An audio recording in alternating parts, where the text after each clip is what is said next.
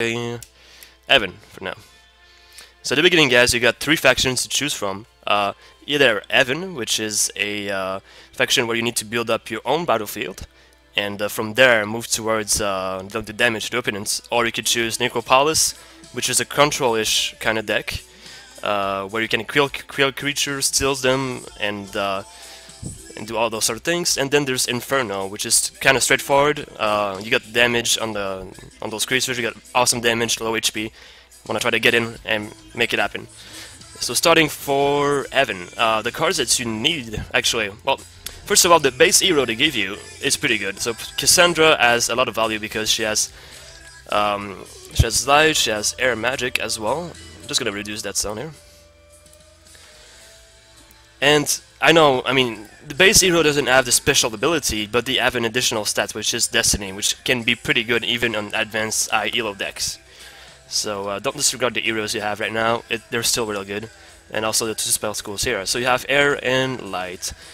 But to start with, what you need to do if you're starting with Haven, you want to aim, if possible, uh, with the wall cards. Try to get as much Wolf Captain as possible in the beginning.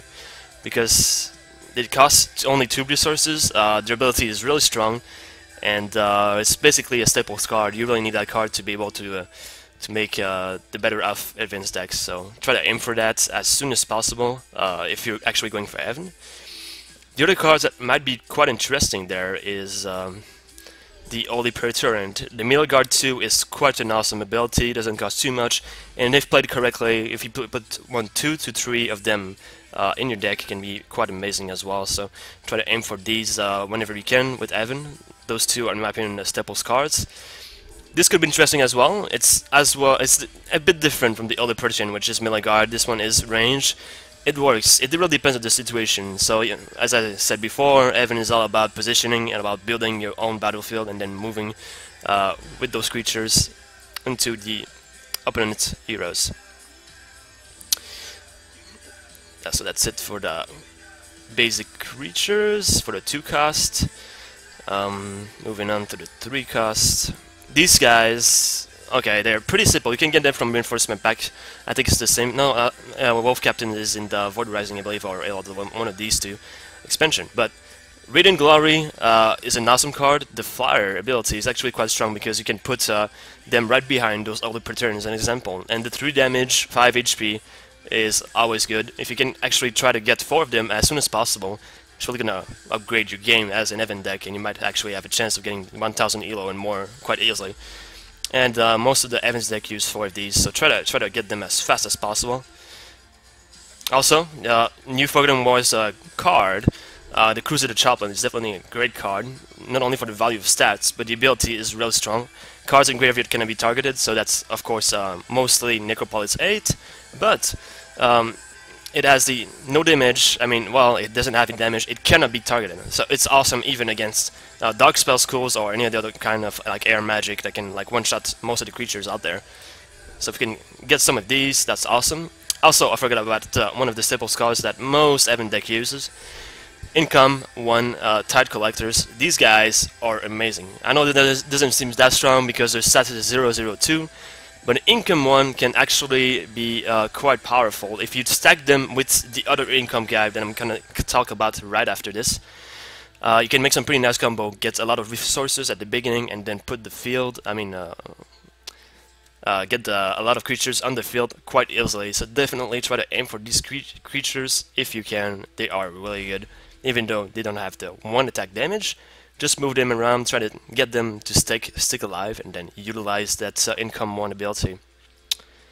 Moving on, uh, I said I was going to talk about the other income uh, creature, which is... Um, let me find it. There we go. It's called the Crusader Treasurer. it, it is a Forgotten Wars card. So of course with uh, Forgotten Wars box, if you want to go for the wild cards, you have a chance of getting that guy. And he's awesome. Uh, not only does he only cost 4 and requirements are quite low, he's over 5 HP, which is uh, decent because it survives to most spells out there. And also, uh, he has the income 2 ability, so if you can like stack them up real quick at the beginning, you can basically just put all the creatures on the battlefield and make it happen quick, which is probably one of the uh, best strategies out there with Haven right now, trying to get the income gas fast and make it happen. So if you can get these guys with uh, uh, the other income person, it's, it's quite good as well. Also, uh, New Forgotten Wars, I keep talking about Forgotten Wars, but they had an upgrade in that expansion, Haven did, so uh, if you can grab some of these uh, creatures, it's really gonna up your game there for Haven. Uh, so moving on, the Crusader Watchman is actually really strong, for the only reason that it is super cheap. For two resources, it's basically a 225, it means retaliation, and uh, okay, if it takes damage, it reduces the damage, that, that is fine. But it works with an event that I'm going to talk right now about, which is a new event in Forgotten Wars. It's called Week of Training. Until the end of turn, creatures with a base base attack of 1 or less. So that means the Tithe Collector, that means the Holy Praetor in the card I talked about. That means the new, uh, well, the card I just previously talked about as well, which is a 0 1, uh, 1 5, but it gets plus 2 damage. Uh, actually adds one more damage to it, so it becomes a 3 damage creature. And uh, what's nice about this event is that it's only gonna work for your side of the battlefield. So this is why it's an awesome event. If you can try to get this and try to utilize the 1 damage and 0 damage uh, creatures in Haven uh, with their strong ability, you can definitely make a lot of stuff happen. Moving on, let's keep on going for creatures for Haven. Mm -hmm. So we talked about Wolf Captains, I talked about these ones as well. Um, moving on the forecast, it's varied really what I'm to go for, but I would definitely recommend this one if you play uh, the basic hero because she gives you a free 2 fortune uh, destiny at the beginning. The ability of that uh, flyer angel is quite strong. You can utilize that to recycle cards, and that's awesome. It's a card advantage card, so you, if possible, if you have it, please play it. Uh, it's going to help you get started in the game. Moving on to the five costs. Let's see if I missed something. Um, these two, I know it's quite far to get there, but the Crusader Commander and uh, the Scatterman Marksman, the new cards out of the Forgotten Wars uh, expansion, are actually really good. It's a late game kind of kind of card there, but it's definitely worth it. Uh, their ability, their stats, and uh, for the cost, uh, both of them are super strong, and it helps really up the game of the late game of uh, Haven, which is quite uh, quite a, problem uh, normally with Haven. They're more like a mid-range, almost late game kind of faction, but with those two cards, it's possible to make it happen. I don't think they have anything at six cost that is that amazing. Um, just gonna, yeah, so of course, uh, normally uh, when you play Magic the Gathering and whatever other CCG, you want to put the big creatures uh, as soon as possible on board because you see big effects and big, st big stats. In this game, it's not that great. Normally, you want to go for 4, 5 might, 6 might is quite rare because the more you upgrade the level of the hero, the less cards you're going to draw.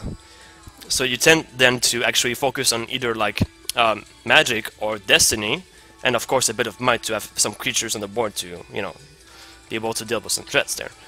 But uh, exactly, so that's why some decks utilize just they just go for like four might, five might, and then they draw two two cards a turn, and they try to snowball you as fast as possible, which is one of the uh, endgame kind of deck, which is called Kragak.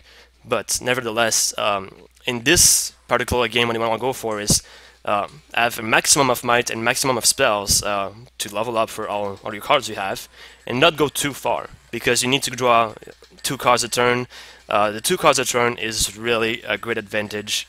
Uh, it's going to get you the, the snowballing. If, if your opponent has to level up and you only draw a card a turn, you can put two creatures instead. Uh, most of the decks actually run four or five mites, so yeah, don't try to go too far even though the creatures have actually nice ability and they look super shiny and like, oh man, I want to play them it sucks. Um, they didn't put two creatures instead because there's so many uh, easy wipes in the game that it's not an easy uh, remove on the game that it's not that worth it to put big creatures. That is the main reason, really. So I talk about incoming, the income guys, uh, the Radiant Glories, which are like staple creatures as well. Of course, you can run variants, uh, like all the other creatures like uh, Griffin Knight or Wolf Marksman, they work in a certain way, but I'm just trying to give you guys the staple creatures for Haven to help you get started. So I believe I went through them all for the creatures. Move on to spells. We got Cassandra. Uh, one of the spells I want to go for as soon as possible that has a lot of value is called Sunburst. Uh, deal 3 damage to all creatures of target row. That ability is so cheap, it only costs 2 magic and it costs 2 resources. But a lot of creatures have 3 HP, uh, let's say maybe 5, 6. You can use that Sunburst and then make it happen, so that might be tr truly interesting. I use Sunburst in a lot of my spell decks. It is one of the best removal. For the cost, it's quite the value definitely trying to go for that.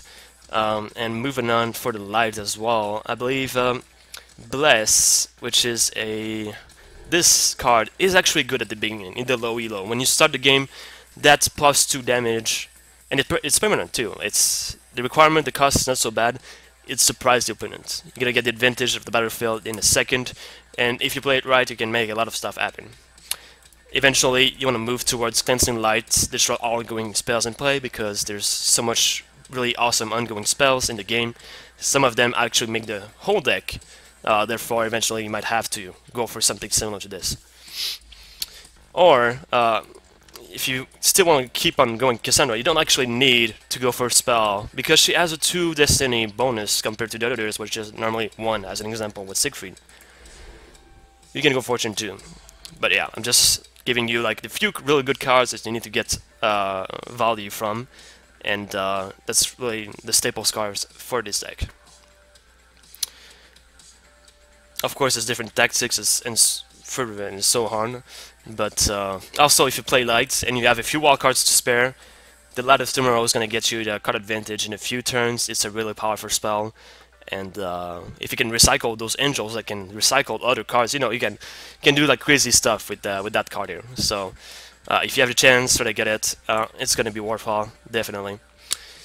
So uh, yeah, that's about it for Haven.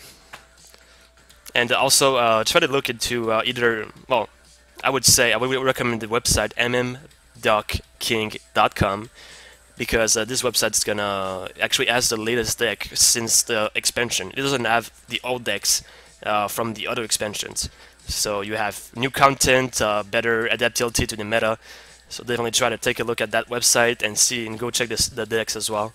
And uh, normally, if you, if you actually uh, try to go for the, a good deck that works and incorporate those cards and those, let's say, uh, requirements like level and, and magic, um, it's definitely gonna increase your percentage win rate for sure.